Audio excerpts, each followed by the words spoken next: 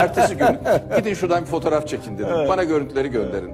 Gelen fotoğraflar korkunç. Korkunç. İki metrekare yere bir beton dökmüşler. Üstüne birkaç demir çubuk koymuşlar. Oraya gidip aman aman hemen bir temel atalım. iki yere betelim.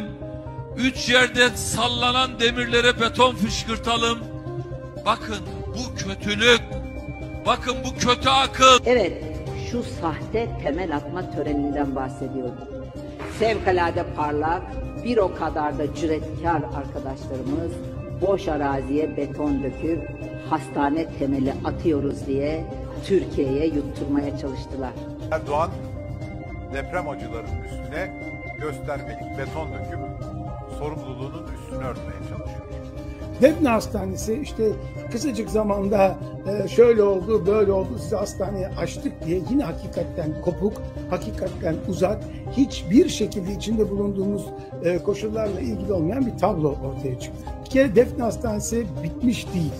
Açılışı yapılabilecek bir durumda değil. Bu bir. İkincisi bir hastanenin binasının bitmiş olması oranın hastane olduğu anlamına gelmez. Bir hastanenin hastane olabilmesi için hasta kabul edebilmesi gerekir ve hastalara bir hizmet verebilmesi gerekir. Röntgen Hastanesi'nde böyle bir durum yok.